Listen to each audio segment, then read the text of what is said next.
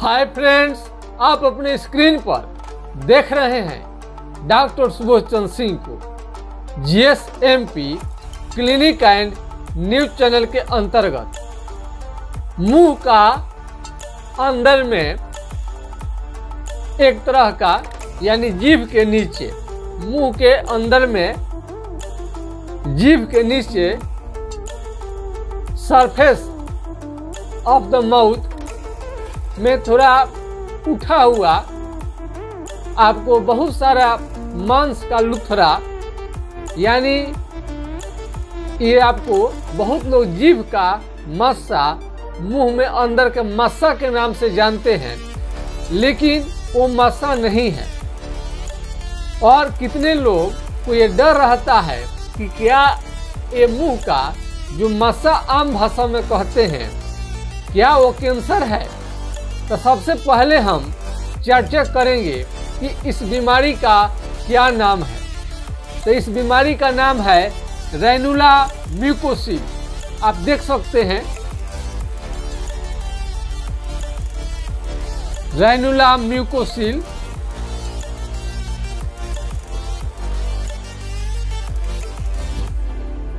इसको ranula mucocele इसको medical के भाषा में इस बीमारी का नाम है। Ranula mucocele. सील का मतलब है जिस तरह से हाइड्रोसिल, यानी आप इसको कॉमन भाषा में समझते हैं कि हाइड्रोसिल आपका बहुत जो बड़ा हो जाता है, पानी उसमें भर जाता है। ठीक उसी तरह से रेनुला में भी म्यूकस का जमाव हो जाता है। जमने के कारण आपको ये फूला फूला लगता है। और भोजन को पचाने में और भोजन को मुलायम करने के लिए आपका लार लार निकलता है जिससे स्लेवरी ग्लैंड स्लेवरी ग्लैंड कहते हैं जिससे लार बनता है, और उसको सपोर्ट करने के लिए छोटे छोटे ग्लैंड आपको ये जीभ के नीचे साइड में भी रहते हैं।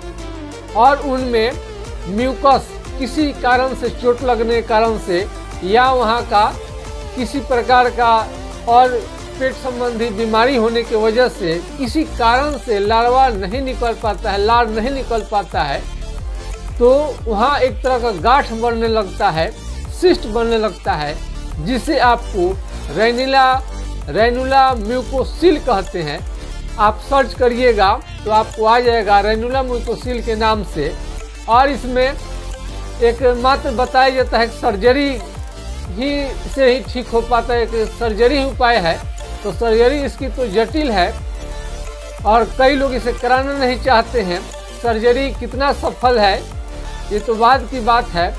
और होम्योपैथिक दवा में पूजा और ये आपको एसिड, नाइट्रिक और जो भी जिनको सिम्टम के अनुसार ये दिखाई देता है, वो इसे दवा चलाते हैं। मासा समझकर अधिकतर लोग वाट्स मासा समझ के इसे पूजा लोग देते हैं, लेकिन आपका सही शब्द इसका है, रेनुला म्यूकोसिल।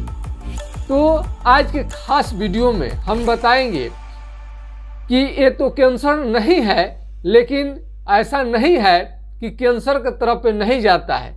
हमने जिस मरीज़ का ठीक किया था, एक बच्चे का लाइफ किया था, एक साल का समय तो लगा, लेकिन वो बच्चा बिल्कुल पीला हो चुका था, खाना भी नहीं खा पाता था। ये रेनुला की वजह से खाने में आपको प्रॉब्लम हो सकता है।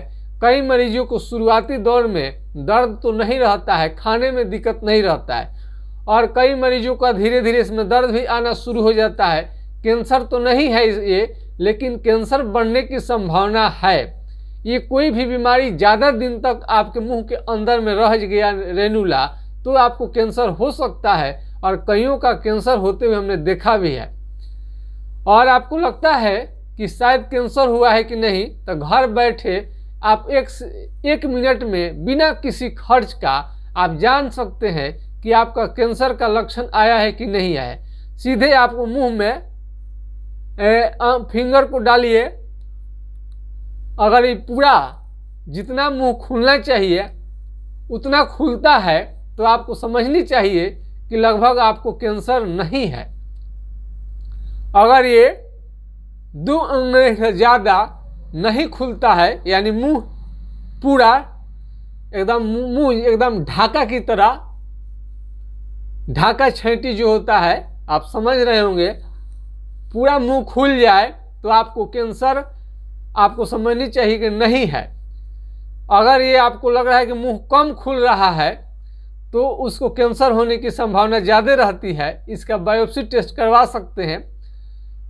और इसका सामान्य जाँच आपका सीटी स्कैन एमआरआई अल्ट्रासाउंड के द्वारा आप जान सकते हैं और इसकी जाँच आपको करा लेनी चाहिए और इसके कई और पहलू हो सकते हैं विस्तृत, लेकिन मेरा आज का वीडियो बनाने का मकसद है कि रेनुला का ये चीज़ नीचे के पोर्शन में भी ये फूला फूला आपको हो सकता है।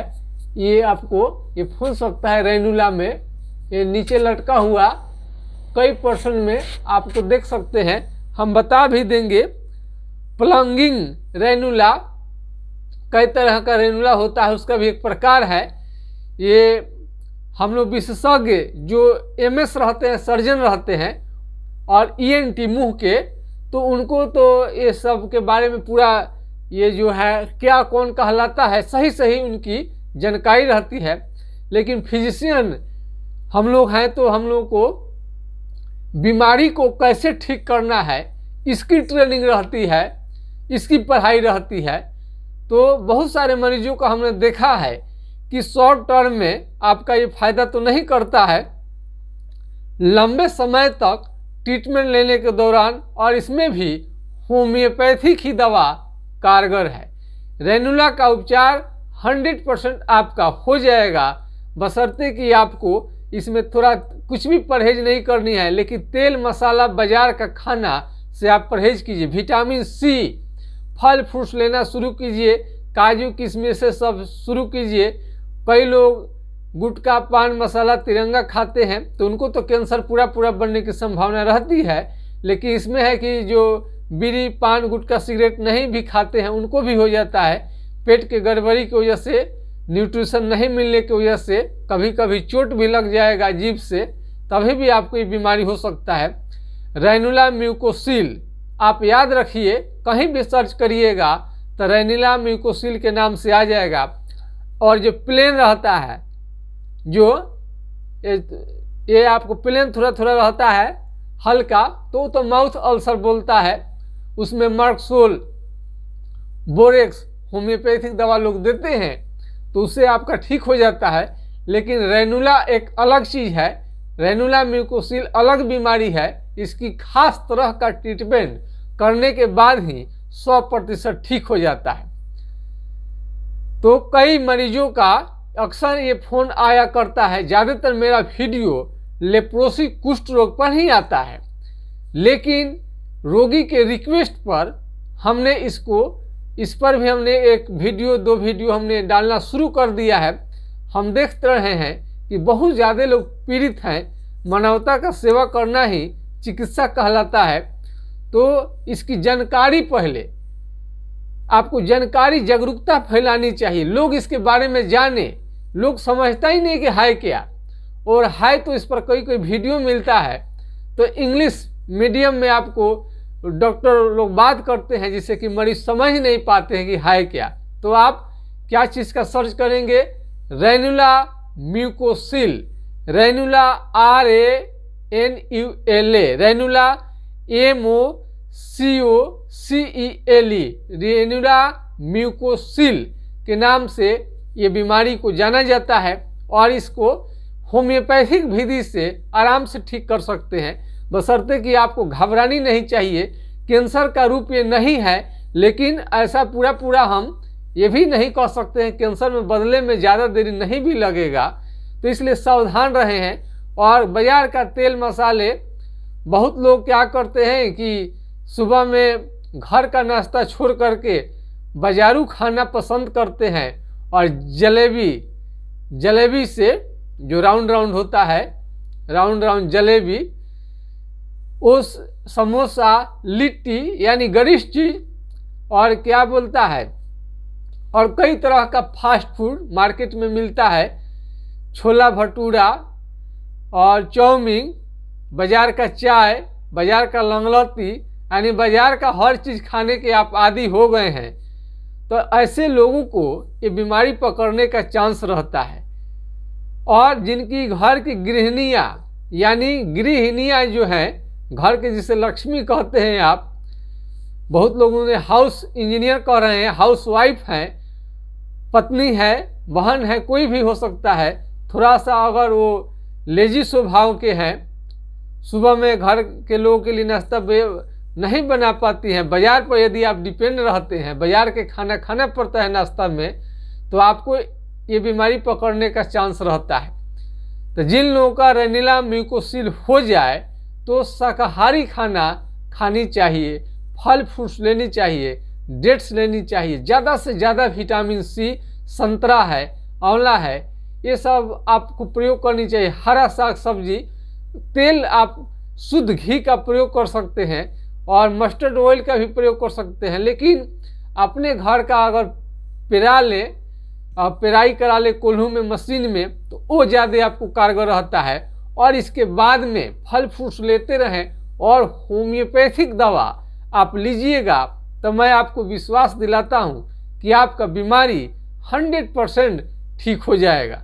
ये बीमारी देखने में तो छोटा लगता है, लेकिन आगे बढ़ने के बाद में आपको धीरे धीरे खाना तक छूट सकता है और इस रेनुला में दर्द आ सकता है और धीरे धीरे कैंसर की तरफ़ बढ़ सकता है। कोई भी गांठ या गिल्टी शरीर में कहीं पर भी हो तो आप इसके बारे में समझ सकते हैं। कैंसर और टीबी का प्राइमरिक लक्षण है, इसे आपको सीरियसली आपको लेनी चाहिए। तो आज के खास वीडियो में इतना ही। यदि आपको किसी भी तरह का रेनुला संबंधित मुँह का एरिया में किसी भी तरह का घाव क्यों न हो यदि आप तमाम तरह के चिकित्सा करा लिए हों, बड़े से बड़े डॉक्टर से भी दिखा लिए हों, यदि आपका ठीक नहीं होता है, अपने डॉक्टर के इलाज से आप संतुष्ट नहीं है तो हमारा भी सलाह आप ले सकते हैं। यदि हमारा आपको सलाह चाहिए तो मेरा व्हाट्सएप नंबर है nine eight zero one seven five seven five three three, यानी नौ सौ अस्सी, सत्रह सौ संतावन पाँच सौ तैतीस पर आप राय ले सकते हैं। ज़्यादातर वीडियो मेरा कुष्ठ रोग पर आता है, फैलेरिया पर आता है, एन आई संबंधी, कोर्ट संबंधी आता है। लेकिन परेशानी को देखते हुए, आपके रिक्वेस्ट को देखते हुए हमने फैसला किया है कि रेनुला पर ज़्यादा से ज़्यादा हम वीडियो दें ताकि इसके पीड़ित मरीज़ को निदान मिल सके। ये बीमारी और इम्पोर्टेंट इसलिए हो जाता है कि खाने पीने में हमेशा ये डिस्टर्ब करता है और खाने के रुचि को बिगाड़ देता है। मन हमेशा रोगी का हमेशा ये संकित रहता है, सोचते रहते हैं, शायद उन्हें कैंसर तो नहीं हो गया इस भ्रम को, इस डर को मिटाना ज़रूरी है, इसलिए आपका साथ ज़रूरी है। हैप्पी इंडिया और हेल्दी इंडिया बनाने के लिए इन सब बातों के भी चर्चा होनी चाहिए। हमारे चैनल से विश्वास दिलाते हैं। बड़ी बीमारी हो, छोटी बीमारी हो हम अपने अंदाज में, जिसे सरल भाषा में बहुत सारे लोग हिंदी भाषी हैं, उनके लिए खास वीडियो नहीं मिल पाता है। तो हिंदी भाषी और भोजपुरी के जो लोग हैं, उनके लिए हम खास वीडियो बनाते हैं, ताकि अपने बीमारी को समझ सके और अपने बीमारी का निदान सही सही जान सके और परेशानी से बचे रहें। हमारे चैनल बनाने का मुख्य उद्देश्य यही है। हमें आशा है कि मेरा वीडियो आप लोगों को पसंद आया होगा। यदि पसंद आया है तो लाइक, शेयर, सब्सक्राइब करना ना भूले, शेयर करना भी ना भूले। जय हिंद, जय भारत।